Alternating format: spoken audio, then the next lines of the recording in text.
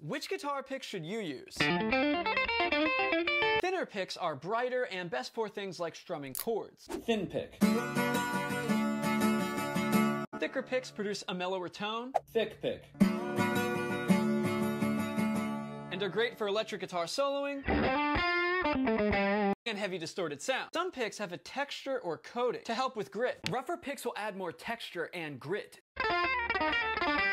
While picks with a smoother coating will sound more clear and neck. Size and shape affect how much of your finger comes into contact with the strings. Teardrop pick. Finally, we have material. The most common synthetics are celluloid, nylon, acetal, and Ultex. Nylon is soft and textured, imparting a sonic character to your playing with a comfortable grip. Celluloid is the first patented synthetic plastic. It's slicker, smoother, and great for medium thickness. Acetal, aka Tortex, most closely mimics the tortoiseshell picks that were popular in the 19th century. Comment your favorite.